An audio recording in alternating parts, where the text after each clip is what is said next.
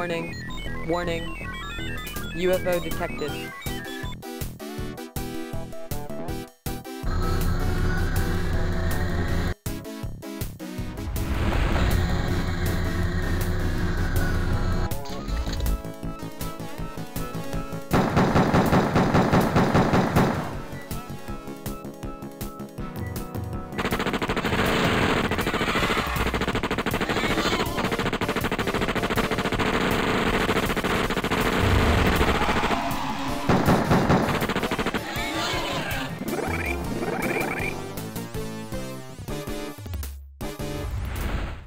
UFO Enemy Unknown je legendárna taktická ťahová stratégia, prvá zo série XCOM, ktorá vyšla v roku 1994. Vytvorili ju bratia Golopovci vo firme Mythos Games, ktorým pomáhali šikovní vývojári z Microprose.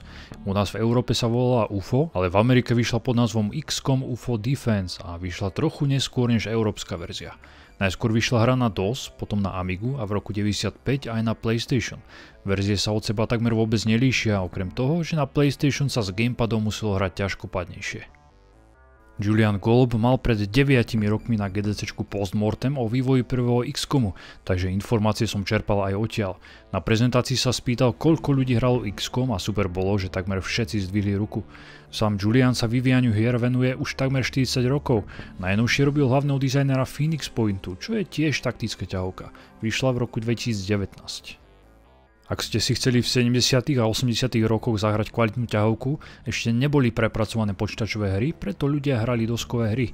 Julian sa inšpiroval doskovkou Sniper, ktorá začala vychádzať už od roku 1973. On ju hral v rokoch 78 až 83, keď mal približne 14 rokov. Ďalšou inšpiráciou bolo sci-fi RPGčko Traveler, niečo ako Dungeons and Dragons len vo vesmíre. Mali ste pravidla, veľkú hernú plochu a mohli ste si buď vytvoriť vlastný príbeh alebo použiť jeden z priložených s danými postavami.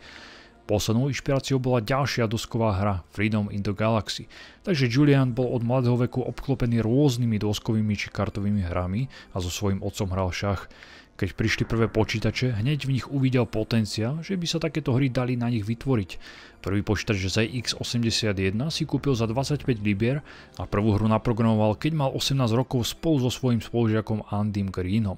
Bola to Islandia a Time Lords, ktoré v roku 1984 distribuoval Redshift pre BBC Micro, čo bol 8-bitový domáci počítač od Acornu. Už Islandia mala náhodne generované ostrovy, námorné bitky a základnú ekonómiu a tu Julian prvýkrát použil nápad akčných bodov, ktoré si požičal z doskových hier. XCOM má bohatú históriu odkiaľ a z čoho pochádza. Ešte pred ním bolo niekoľko hier, ktoré ste si mohli zahrať a ktoré sa transformovali do podoby, ktorú všetci dobre poznáme. Bol to Rebel Star Raiders z roku 1984, ktorý vyrobil Julian Golob. Bola to taktická ťahovka pre dvoch hráčov na ZX Spectrum. Pokračovanie Rebel Star 1 a 2 vyšlo v rokoch 1986 až 88. Tam sa Julian naučil pathfinding a hráč tam bojoval proti umelej inteligencii. Nakoniec vyrobil Laser Squad v roku 1988, čo bol pravý predchodca XCOMu. Už tu sa ukazovali niektoré mechaniky a elementy, napríklad zničiteľnosť prostredia či vyzbrojovanie jednotiek. DOSová verzia vyšla v roku 92 a od tej na ZX Spectrum sa dosť graficky líšila. V roku 91 si potom so svojím bratom Nikom vyberali, akú novú hru vytvoria. Chceli stavať na tom, čo im išlo a rozhodli sa vytvoriť druhý diel Laser Squad. Mali vytvorené aj demo na Atari ST, hľadali vydavateľa, navštívili Chrysalis, Domark, no nakoniec si vybrali Microprose, kde bol Sid Meier. V tom roku vychádzala civilizácia, čo bola úžasná stratégia. Demo Laser Squadu ukázali Pete Morelandovi, ktorý Micropro spracoval a ten im na to povedal, aby z toho urobili väčšiu hru. Spočiatku nechápali, čo sa im snaží povedať, no nakoniec boli na niekoľkých stretnutiach, kde im povedali, že majú hru zasadiť na zem a má v nej byť prepracovaný technologický strom plus encyklopédia, ako mali v civilizácii. Tam sa to volalo Civilopedia. Potom im Pete navrhol, že čo keby do hry dali UFO a hráč by proti ním bojoval. Ďalším človekom z Microprose bol dizajner Steven Hand a veľký fanúšik Laser Squad. Ten im zase pomohol s vytvarným štýlom, aby bola po grafickej stránke viac komiksovejšia a prišiel s názvom XCOM, čo znamenalo Extraterrestrial Combat Force. Najskôr Mike Branton vymyslel názov XCON, čiže Contact Force, čo neznelo tak dobre, preto si vybrali XCOM. Takže vydavateľ chcel, aby Julianova hra mala nejaké prvky, ktoré vo svojich hrách mali oni a aj vďaka Microprose sa z XCOM stala oveľa väčšia hra, akú poznáme dnes. Ešte pred samotným vyvíjaním titulu si vývojári museli urobiť prieskum a naštudovať si niečo o mimozemšťanoch. Začali preto so seriálom UFO Garyho Andersona, v ktorom zistili, ako táto organizácia proti MSAKom bojuje a niekoľko nápadov sa dostalo aj do hry. Julian si potom prečítal knihu Alien Liaison, kde boli príbehy z oblasti 51, ako testovali mimozemské technológie, ktoré boli napájané elementom 115, ktorý sa v hre objavil a nazvali ho ako Elerium. Počas vývoja musel Julian napísať Microprose dokument o dizajne hry, pričom nikdy nič také nepísal. Ako sa bude XCOM hrať, čo v ňom bude hráč robiť, no vydavateľ s 12-stranovým dokumentom nebol spokojný, preto Julian musel ísť do firmy a osobne im vysvetliť všetky mechaniky. No a v tom momente mohol byť celý projekt zrušený, XCOM vôbec nemusel vzniknúť a Microprose ho nezrušil len preto, pretože Julian vytvoril Laser Squad. Grafici pracovali na XCOM len dvaja, John Wright a Martin Smiley z Microprose, plus samozrejme Julian Golob. Johnovi môžeme vďačiť za komiksovú grafiku, vzhľad mimozemšťanu a parádne intro, ktoré som nechal celé prebehnúť na začiatku recenzie. Grafickú stránku prostredia a ufopédiu vytvoril zase Martin. O zvuk sa postaral Andrew Parton a hudbu zložil John Broomhall. Zvukovo bola vtedy hra na vysokej úrovni a k tomu ju museli zabaliť do čo najmenšieho súboru, aby nebola príliš veľká. Hudba je excelentná aj dnes a vždy ma z nej mrazí. Doplňuje temnú ponurú grafickú stránku a pridáva na surovej atmosfére mizérie, kde cítite, že ľudstvo čili neznámej hrozbe a bojuje o svoju existenciu.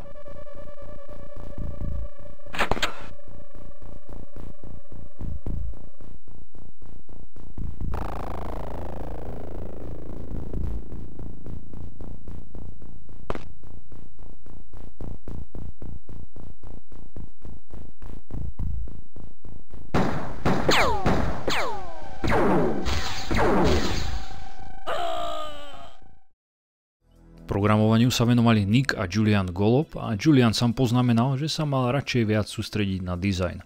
Nick vytvoril inovatívnu Geoscape a Battlescape časť, čiže strategickú, kedy sa staráte o základne na zemi a riešte mikromanagement a taktickú, v ktorej bojujete a snažíte sa prežiť so svojou jednotkou vojakov. QA team v počte troch ľudí vedený Andrewom Luketom v podstate zachránil XCOM pred zrušením.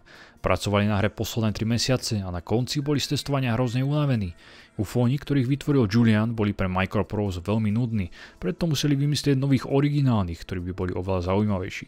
Vytvorili ich veľké množstvo, ale len veľmi málo z nich si vybrali nakoniec do hry. Vývoj hry stal približne 180 tisíc dolárov, čo bolo dosť a tým mal finančné problémy. Kvôli tomu hra takmer nevyšla. Mali ju vytvoriť za 18 mesiacov, no trvalo im to až 30, čo bol ďalší problém. Potom tu bol Spectrum Holobyte, ktorý odkúpil časť Microprose, viac než polovicu, takže mohli rozhodovať aj o vývoji XCOM. Okrem toho si pozreli aj všetky ostatné projekty, ktoré sa vtedy vyvíjali a XCOM chceli zrušiť, pretože sa im vraj nepáčil. A projekt bol oficiálne zrušený. Vývojári o ničom nevedeli a ďalej pracovali. Posledné 3 mesiace 12 hodinové smeny aj cez víkend a dozvedeli sa o tom až po 20 rokoch. Microprose o tom pomlčalo a rozhodlo sa v projekte pokračovať a nepovedať to spektrumu. A urobilo dobre. Do roku 2000 sa predalo 470 tisíc kopí, polovica len v Severnej Amerike. Len za podiel z predajov zarobili viac než 1,5 milióna dolarov. V tom istom roku, krátko pred vydaním hry, začal ísť v televízii seriál X-Files, ktorý im pomohol, pretože spopularizoval UFO a mimozemšťanov, čo im pomohlo v predajoch hry a s X-Com sa stal obrovský hit. Spektrum bolo samozrejme prekvapené, no hneď keď sa dozvedeli, akým sa XCOM stalo hitom, chceli od autorov, aby do pol roka urobili pokračovanie. Za taký krátky čas nemohli stihnúť urobiť novú hru, preto ju licencovali Microprose a tí za rok urobili pokračovanie Terror from the Deep, takže na druhom diele už nepracovali bratia Golopovci. O dizajn sa postaral Steven Kos a hra bola dosť podobná prvému dielu. Golopovci pracovali na treťom diele Apocalypse, ktorý vyšiel až v roku 97 z tohto sveta vyšlo množstvo ďalších hier. V 98. vyšiel vesmírny simulátor Interceptor a v 2001 vyšla strieľačka z tretieho pohľadu Enforcer. Čo sa týka vplyvu na ďalšie hry, tak od XCOMu sa inšpiroval napríklad Fallout.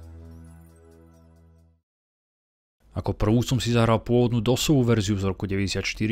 Dnes sa hra už dosť zle a ťažko padne, veľa vecí chýba alebo mohlo byť vyriešených oveľa lepšie, napríklad nízke rozlišenie 320 na 200.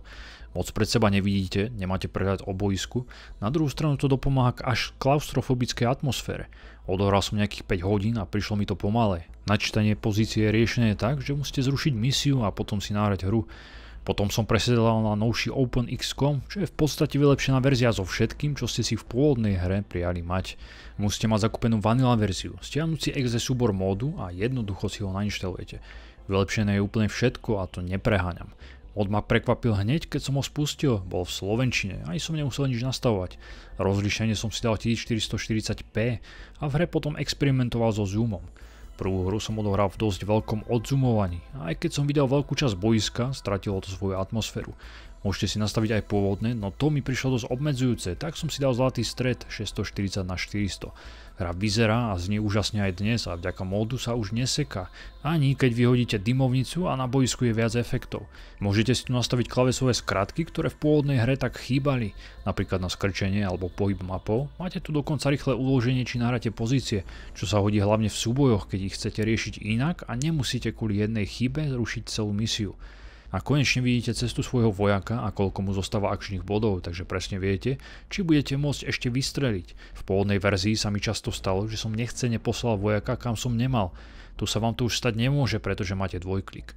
A môžete scrollovať v medu, keď predávate veci, čo je síce drobnosť, no dosť vám to ušetrí čas a nervy.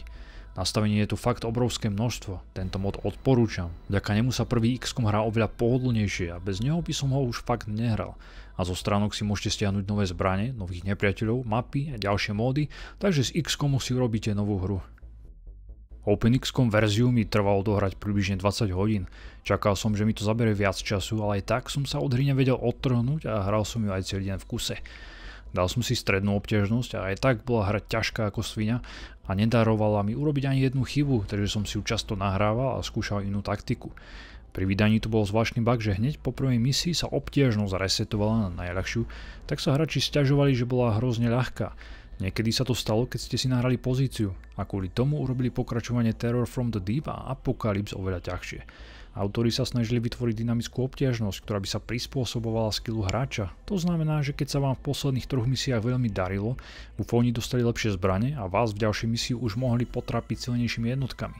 Ak vám na druhej strane zomierali vojaci a nedarilo sa vám, ufóni a ich vybavenie zostalo nezmenené. Úlohou hry je bojovať proti invázii UFO a zachrániť svet. Hra je zasadená do roku 1998 a príbeh si v podstate tvoríte sami. Interfejsu hry sa môžu zľaknúť aj zdatní hráči, pretože je plný tlačidel a absolútne nebudete zo začiatku vedieť na čo slúžia. Treba si ich v kľude preklikať, no v OpenXCOM vidíte čo ktorý robí a keď sa ich raz naučíte, už nebudete mať problém sa v nich orientovať. To platí ako pre boj, tak pre bázu, kde robíte mikromanagement. Niektorým hráčom sa nepačilo starať sa o základňu, no ja som si ju rád vylepšoval, predával nepotrebné mimozemské artefakty a mŕtvoly, kupoval nové zbrania a muníciu, vyvíjal nové technológie alebo manažoval svojich vojakov, porovnával ich štatistiky a priraďoval im väčšiu dôležitosť. Ale sám Julian priznáva, že interfejs urobili dosť zlý, hlavne vyzbrojovanie jednotiek hrozne dlho trvá. Tento problém bol v novšom mode vyriešený. XCOM je rozdelený na dve hlavné časti, Geoscape a Battlescape. V strategickej Geoscape časti vidíte celú Zem, môžete s ňou rotovať, stavať nové základne a robiť mikromanagement. V reálnom čase sa tu strieda deň a noc, takže krásne vidíte, kde je deň a kde noc.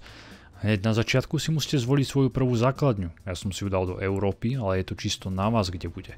Hlavne, aby mala okolo seba čo najviac zeme. Hra sa dá dohrať aj s dvoma základňami. Ja som si druhú postavil do Severnej Ameriky, ale ak chcete a máte dosť financí, môžete ich mať aj 8, čo je maximum. Už od začiatku máte v prvej báze postavené základné stavby. Je tu malý skener, ktorý si neskôr môžete upgradeovať na väčší. Sú tu ubytovne, kde budú bývať vojaci, vedci a inžinieri, takže tie musíte neskôr prikúpiť. Je tu jeden labak, ktorý stačí mať jeden v každej bázi. Zmestí sa tam až 50 vedcov, čo je dostatočné množstvo na rýchle skúmanie nových vecí. S dielňou to je trochu zložitejšie, pretože niekedy sa do nej zmestí len 16 inžinierov, ktorí pracujú na jednom projekte. Napríklad keď staviate pokročilé lietadlo, preto odporúčam postaviť neskôr ešte jeden.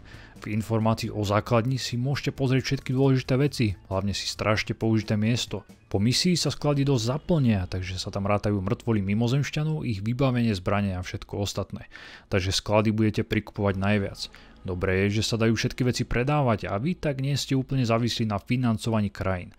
Tie vám budú posielať peniaze len na začiatku každého mesiaca a vždy na konci vyhodnotia váš boj proti UFO.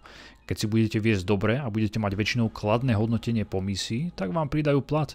A ak nejakú misiu nesplníte, či na ňu nepôjdete, tak vám ho naopak strhnú. Dôležité sú nočné misie v napadnutých mestách, tie sú aj najťažšie z celej hry. Čo zo začiatku odporúčam urobiť? Dať jednému interceptorovi dve rakety Stingray, pretože Avalanche je na menší UFO veľmi silný. Veľakrát ich zničí a to vy nechcete. Stingray sú slabšie a menej presnejšie rakety, no sú skvelé na malé a stredné UFO. Veľmi malé UFO sa aj neoplatí naháňať, pretože v ňom nenájdete Elerium, ktoré potrebujete. A na veľké a veľmi veľké zase s interceptormi nemáte šancu, tu musíte vyvinúť najskôr lepšiu a rýchlejšiu stíhačku. Pôvodne mal byť tento systém stíhania mimozemských lodí úplne iný. Mali ste v ňom vidieť kokpit stíhačky a sami by ste ľavou a pravou šípkou vystreľovali rakety či strieľali z kanónu. Mala to byť akási arkadová minihra, ktorá v závere moc nefungovala. Preto celý systém automatizovali, aby bol viac abstraktný a jednoduchý. Čo sa týka vedcov, tých si naverbujte na začiatku hneď ďalších 10. Prvých 10 už máte v základni, takže takto si výskum zdvojnásobíte. Potrebujete čo najrychlejšie vyvíjať nové veci. Na začiatku máte len pušku, pištol, nejaké gráty, dymovnicu, svetlicu a ešte nejaké drobnosti. Nemáte žiadnu lekárničku ani zbroj, takže prvé misie si musíte dávať dobrý pozor na to, aby vás netrafili, pretože nepriatelia majú plazmové zbranie. Zo silnejších zbraní tu je ťažký či rotačný kanón, kde sa dá aj vybrať zapalná alebo explozívna munícia a potom raketomet. Tieto zbranie dajte len jednému vojakovi, nemajte ich viac. Ale je to na vás, môžete si kľudne vytvoriť čisto raketový skôd, ktorý celé mesto odpáli a je v tomto veľmi voľná. Vojaci sú zo začiatku úplne nuly, ktoré akoby nikdy nedržali v rukách zbraň, Hneď v úvode si ich vyselektujte, zorate si ich od najlepších po najslabších. Ja som ich radil podľa presnosti strelby a naverbujte si ďalších 6 až 8 nových rekrutov, pretože je dosť možné, že vám nejakí v prvých pár misiách zomru a vy budete musieť čerpať zo záloh. Prvej polovici hry sa vyplatí mať skôd v počte 7 až 9 vojakov, neskôr stačí mať 4 až 6. Každý vojak je špecifický a má svoje vlastné štatistiky. Niekto má viac akčných bodov, iný je odvážnejší, takže nikdy nespanikári, ďalší je presný so zbraňami, takže ho majte vzadu ako snajpera. Vojakov s dobrými reakciami posielajte ako zveda a v poslednom rade sa odomkne psionická odolnosť a schopnosť. Tu rozoberiem neskôr. Trénovať ich môžete bojom proti emzákom. Ak uvidia nepriateľa a budú na ňo strieľať, tým sa zvyšuje ich presnosť a odvaha. Ak nesú veľkú záťaž, zvyšuje sa im sila. Uvidenie nepriateľa trénuje reakcie. Treba si dať pozor, aby váš vojak neniesol príliš veľký náklad, pretože to znižuje jeho akčné body. Vo vanilla verzii sa váha neukazovala, v OpenXCOM už je, takže pekne vidíte, koľko každý vojak unesie. Skvelé je, že tu máte denník, takže si môžete pozrieť všetky misie daného vojaka, môžete si pozrieť, koľkých ufonov zabil a ako sa mu za ten čas zvýšili štatistiky. Je tu aj cintorín padlých vojakov. Najviac môžete vycvičiť vašu jednotku na 250 bodov. A ak to prekročíte, tak je tu bug, ktorý číslo zresetuje na úplne minimum, takže napríklad akčné body mu skočia na jednotku a vy sa s ním absolútne nikam nepohnete. K svojim vojakom si počase vytvoríte silné puto a nebudete chcieť, aby vám zbytočne zomreli pri nejakej náhodnej strele. Fakt to zabolí, keď vám zomrie váš obľúbený vojak. Hlavne taký, ktorého si sami pomenujete a starajte sa, aby zostal nažive a prešiel aj do ďalšej misie. Výskum je ďalšou úžasnou zložkou hry. Najskôr môžete skúmať len laserové zbranie, detektor pohybu a lekárničku. Laserové zbranie nepotrebujú muníciu, preto nemusíte so sebou nosiť zásobníky a ušetrite miesto pre iné veci, napríklad granáty či svetlice. A je to aj dosť silná zbraň. Lekárnička sa tiež veľmi hodí a bez nej sa neskôr nezaobídete, pretože vášho vojaka môžu fatálne zraniť a ak ho neuzdravíte, nakoniec vykrváca a zomrie. To lepšou verziou je, keď len upadne do bezvedomia. Každý poranený vojak sa po misii musí liečiť a nejaký čas trvá, než bude schopný ísť na ďalšiu misiu. Aj preto majte viac vojakov v zálohe. Po prvej úspešnej misii získate mimozemské mŕtvolia zbrane, takže vo výskume vám hromada vecí pribudne. Na ten potrebujete len jednu mŕtvou, takže ostatné nepotrebné môžete predať. Zbrnení tu je osobná zbroj, tá sa dá celkom rýchlo vyskúmať, potom energetická, v ktorej vypadáte ako prerastený chrobák a nakoniec lietajúci skafander, vďaka ktorému sa ľahko dostanete cez prekážky a môžete vyletieť na strechu budov a odtiaľ strieľať na emzákov. Zbroje sú dosť preceňované a nie vždy vám zaručia ochranu. Aj tak vás nepriateľ môže zabiť na jednu strelu, ak si nedáte pozor. Zbraní je veľké množstvo. Používal som hlavne laserové pušky, neskôr plazmové pušky a ťažký plazmový kanón, no niektorí nepriatelia sú na plazmu odolní, preto je lepšie mať plazmu a je laser. Najlepšia zbraň, ktorú si môžete vyvinúť je prenosný fúzny odpaľovač. Vystreľuje navádzané fúzne rakety. Cestu si môžete sami naplánovať a výbuch je obrovský a zničí všetko v dohľade. Je to až moc silná zbraň, ktorá trochu rozbíja hru, pretože si ju v podstate nemusíte ani vyrobiť. Po desiatkách misiách som jej mal doslova tucty a mohol som ju dať každému svojmu vojakovi. Pri tejto zbrani vám stačí stať na začiatku v lietadle a odtiaľ strieľať na všetky strany. Nemusíte ani vyliezť von. Čo sa týka taktiky, najlepšie je mať rýchlo prieskumníka s veľkým počtom akčných bodov, ktorý bude odhaľovať nepriateľov, ale nebude na nich strieľať. Potom si postavíte vojakov s najväčšou presnosťou niekde dozadu, aby ste mali dobrý výhľad na celú oblasť a budete ich používať ako snajprov. Emzaci na vojakov, ktorí sú príliš ďaleko strieľať nebudú a nebudú ani opätovať strelbu. Dôležité je používať kryty a strieľať z okien, dverí alebo nízkych plotov, za ktoré sa môžete skršiť. Detektor pohybu som skúšal a keď sa ho naučíte používať, tak môže byť dobrý pomocník, hlavne v noci. No ja som sa spoliehal na oči mojich vojakov. Potom tu je sonda mysle. Tu používajte na hľadanie veliteľa a iných dôležitých ufónov, ktorých musíte chytiť. Neskôr budete musieť zajať ufónov a následne ich vypočúvať v špeciálnej miestnosti. Ak chcete dokončiť hru, musíte chytiť veliteľa alebo komandéra, ktorý vám po krátkom mučení prezradí polohu hlavnej základne. Zo začiatku ich môžete chytať elektrickým obuškom, no neskôr sa dá vyvinúť malý odpaľovač s omračujúcimi bombami. Nevždy ale účinkovali, preto som musel na ufónov použiť aspoň 2 alebo 3 výstrely. Potom tu je tank, ktorý sa oplatí použiť na začiatku ako štít a prieskumná jednotka. Je celkom silný a neskôr si na neho môžete vyvinúť aj fúzny kanón, ktorý je ničivý. Všetky tieto veci môžu byť pre nových hráčov až príliš zložité a v hre nenájdete žiadny tutoriál, ktorý by vám ich vysvetlil. Všetky rady boli vtedy napísané v priloženom manuáli, takže ten odporúčam prečítať. Alebo bežte na ufopedia.org, kde nájdete informácie o hre. Battlescape je druhá taktická časť hry. Ide tu len o boj proti mimozemšťanom a ovládanie jednotiek. V každej misii máte tú istú úlohu, zabiť všetkých ufónov a ak ste v meste, tak sa snažiť zachrániť čo najviac civilistov. Každá misia je náhodne generovaná, takže v každej bude zažitok trochu iný. Ak budete cítiť, že misiu nedávate, dá sa z nej utiesť. Keď si môžete vybrať, vždy choďte na misiu cez deň. Nočné misie sú dvakrát tak ťažké, pretože nepriatelia vidia rovnako ako cez deň a vy nevidíte nič.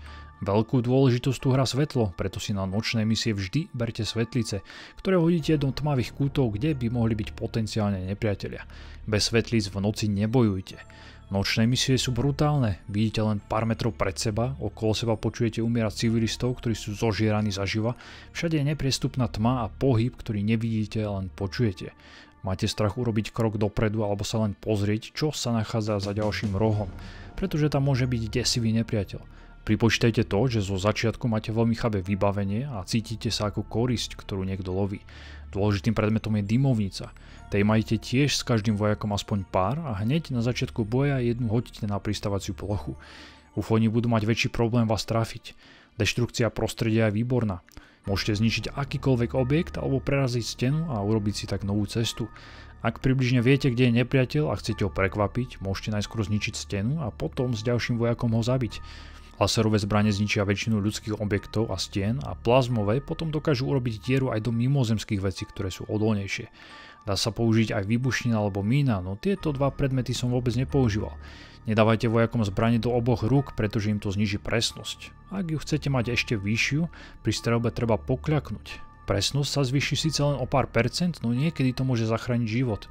Sú tri typy strelby zo zbraní. Mierený výstrel, ktorý zožerie veľa času, ale je najpresnejší, potom výstrel od boku a trojica rýchlych nemierených striel, ktoré sú najmenej presné.